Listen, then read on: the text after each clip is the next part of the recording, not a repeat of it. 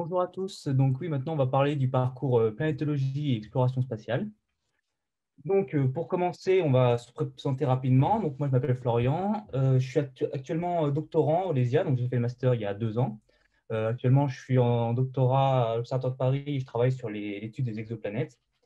Et donc, concernant le master, avant d'y arriver, j'ai commencé par faire une licence de chimie.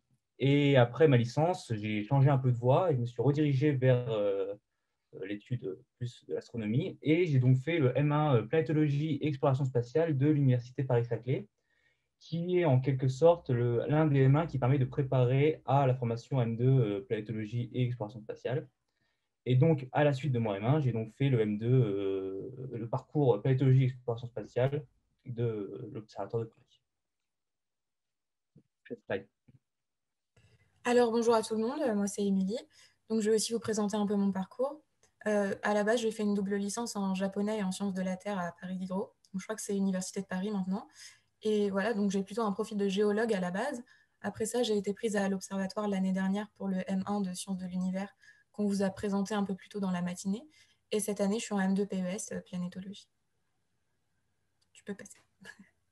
Alors, les prérequis pour entrer dans le M2 Planéto, il faut d'abord avoir une formation scientifique, bien sûr, que ce soit le M1 de l'Observatoire comme ce que j'ai fait, le M1 de Saclay comme Florian ou que ce soit un autre M1 en géologie, en physique ou en chimie.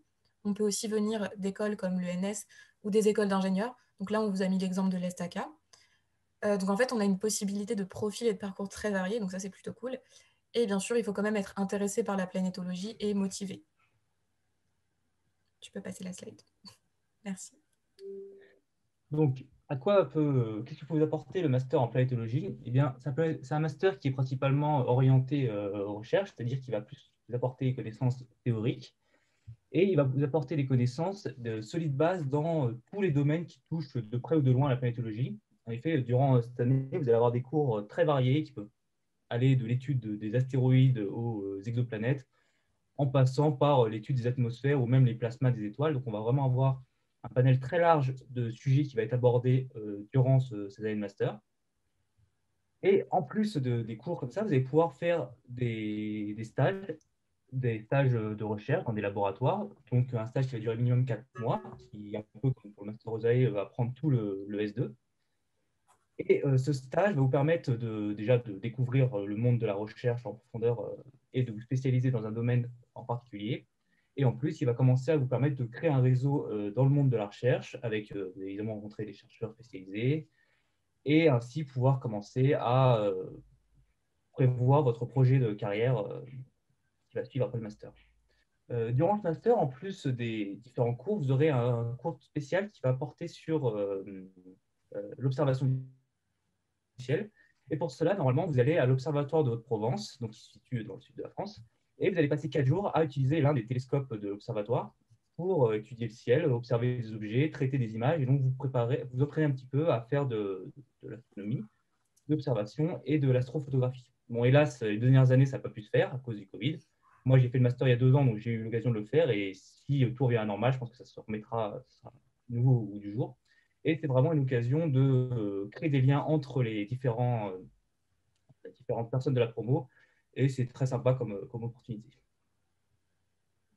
Alors, on vous a mis la liste des unités d'enseignement. C'est une liste de 14 UE. Pour avoir le bon nombre de CTS, il faut en choisir 10 parmi les 14. Et on nous recommande plutôt d'en prendre 12 avec 2 UE bonus. Donc, ça va permettre d'enlever les deux pires notes de la moyenne à la fin, tout en ayant appris et accumulé plus de connaissances.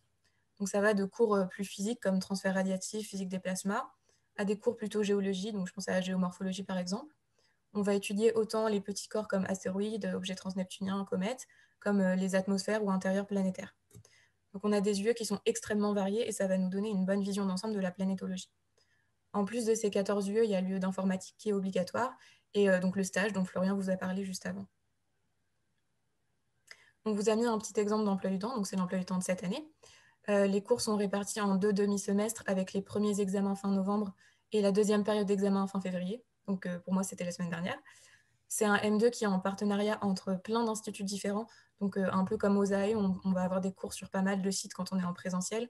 On peut avoir des cours euh, à Jussieu, à l'Observatoire, que ce soit sur le site de Meudon ou de Paris. On peut avoir des cours à l'IAP, au Latmos de Guyancourt, à Orsay, à Diderot et même au Muséum d'histoire naturelle. Donc en général, les choses sont quand même bien faites et on reste sur le même site pour la journée. Donc on vous a mis l'emploi du temps surtout pour vous rassurer un peu. Donc même si vous prenez 12 lieux, vous avez quand même 2 à 3 demi-journées de libre par semaine parce que c'est quand même une année de M2, donc ça demande beaucoup de travail personnel et il faut, du temps pour ça aussi. C'est bon, tu peux passer. Merci. Donc, une fois que vous avez euh, décroché votre master, globalement, il y a un taux de réussite qui est, euh, qui est euh, on va dire, 9 personnes sur 10 à ce master, voire même un peu plus. Donc, il y a un bon taux de réussite en sortie de master. Et après, vous avez différentes options qui s'offrent à vous. La plupart des étudiants, environ un peu plus des deux tiers, se dirigent vers un doctorat. Donc, avec les connaissances que vous avez acquises durant ce master, vous pouvez vous diriger vers plein de domaines différents, aussi bien la cosmochimie, l'étude des météorites, les exoplanètes, l'étude de Mars, c'est vraiment très variable. Et si jamais vous ne souhaitez pas faire un doctorat, vous avez d'autres métiers qui peuvent s'ouvrir à vous. Euh, certains sont dirigés vers euh, le métier d'ingénieur de recherche, qui sera détaillé un peu plus cet après-midi. On aura des ingénieurs de recherche qui viendront euh, expliquer leur métier. Certains sont redirigés vers l'enseignement. Et également, certains sont repartis dans le privé. On fait des métiers qui sont quand même assez différents de, du domaine de l'astronomie, comme la télédétection ou la, la data scientist mais ce sont des métiers qui peuvent faire car euh, on, a, apprend on a des connaissances qu'on va développer durant ce master qui sont tellement variées qu'on peut même repartir vers des métiers un peu plus euh, moins liés à l'astronomie, mais qui peuvent être très intéressants et utiliser euh, toutes vos connaissances développées durant ce master. Donc, au point de vue des ressentis qu'on a eu pour ce durant ce master, on va avoir deux avis un peu différents dans le sens où moi j'étais là il y a deux ans, donc en pré-Covid, avant tout ça, donc, euh, personnellement, j'ai eu des, très bons souvenirs de cette année. On avait des cours euh, très complets, très intéressants, qui, comme je vous l'ai dit tout à l'heure, permettent vraiment de, voir un peu tout ce qu'il y a dans le domaine de la planétologie. Mais le problème, c'est que justement, on va un peu trop rester en surface dans la plupart des cas. Et ça peut être un peu euh, décevant quand on s'intéresse à un sujet très particulier. Mais ça, vous pourrez l'approfondir durant votre stage. C'est le but. Choisir un domaine qui vous intéresse et vraiment vous spécialiser dans ce domaine-là. Euh, en plus de cours complets, on a des enseignants qui sont euh, très compétents et surtout qui sont spécialisés dans chaque domaine. C'est pour ça qu'on va aller d'un site à l'autre parce qu'on va aller voir à chaque fois des spécialistes de chaque domaine d'études. Et ça va ils vont être là pour vous aider, pour vous conseiller, pour par exemple la recherche de thèse ou de, stage, et également si vous avez du mal pendant l'année. Euh, moi, personnellement, la promotion que j'ai eue, on était très soudés, on s'est entraîné beaucoup, il n'y avait pas beaucoup de compétition, un petit peu à la fin pour les thèses, et encore, franchement, il y avait une bonne ambiance. Euh, on avait des groupes qui nous permettaient de, s'entraider pour la préparation des examens ou pour les TP. Donc, c'était franchement une, très bonne année. Alors, je suis assez d'accord avec Florian. Les cours donnent vraiment une très bonne vision d'ensemble. Et dans ma promo aussi, l'ambiance a vraiment été incroyable. En fait, euh, comme tout le monde vient de formations différentes, euh, tout le monde peut s'entraider. par contre, mon ressenti, du coup, il a été un peu biaisé par le Covid. C'est normal parce qu'on a eu que septembre et octobre en présentiel. Et du coup, là, ça fait quatre mois qu'on a tous nos cours à distance. Donc, euh, c'est comme ça pour tout le monde. Hein. Mais forcément, je vais me rappeler cette année comme une année difficile. Et, enfin, pas forcément à cause de la formation, mais ça ne va pas rester euh, la meilleure année dans mon souvenir, on va dire. Tu peux passer la slide. Donc, pour finir rapidement, on va présenter ce qu'on a pu faire euh, grâce à ces masters. Donc, moi, je vous présenter mon stage de M1 aussi, parce que j'ai fait le master planétologie en M1. Euh, donc, j'ai fait, je me suis concentré sur l'étude des exoplanètes. Donc, j'ai fait un stage au LESIA, à l'Observatoire de Paris, sur l'étude des exoplanètes. Et en M2, j'ai continué sur l'étude des exoplanètes avec une méthode différente, euh, à l'IAP, cette fois, à l'Institut d'astrophysique de Paris.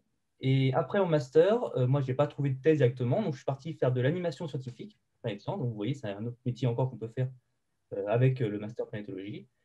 Et après, j'ai trouvé une bourse d'études pour faire une thèse au LESIA. Donc, je travaille actuellement sur l'étude des exoplanètes Au niveau de mes expériences de stage, donc en licence, j'ai fait un stage à Tokyo sur le système Trappiste 1, donc je regardais le système chaotique, euh, j'ai fait des études de stabilité, ce genre de choses. Euh, l'année dernière, j'ai travaillé un peu sur la préparation à la détection d'exolunes. Donc c'était surtout du codage avec un algorithme de recherche d'exolunes avec l'équipe de la mission Keops. Et du coup, cette année, je vais faire un stage sur de la spectroscopie d'exoplanètes en transit. Donc euh, là, pour le coup, je ne vais pas trop pouvoir vous en parler parce que je commence lundi. Tu peux, passer la slide, Marco, s'il te plaît. Alors, comment candidater au M2 de Planeto Donc, euh, il va y avoir des plateformes en ligne qui existent pour Saclay et la Sorbonne, qui ne sont pas encore ouvertes.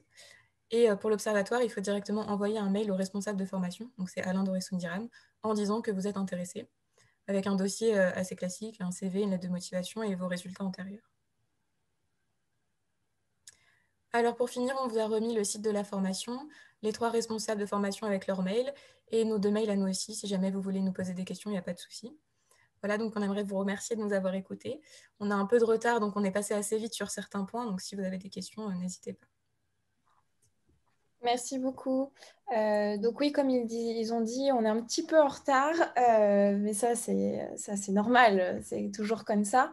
Donc euh, de toute manière, on verra si les présentations de ce matin, on les mettra aussi sur notre site internet pour que bah, notamment vous puissiez contacter à chaque fois les étudiants qui ont présenté les formations, voilà, pour avoir des discussions un petit peu plus peut-être au cas par cas ou voilà ou ou parce que vous aurez d'autres questions qui auraient émergé à l'issue de cette journée. Euh, donc euh, voilà, s'il n'y a pas de questions, euh, on va pouvoir passer au master DSG. En tout cas, merci Émilie et Florian pour votre présentation.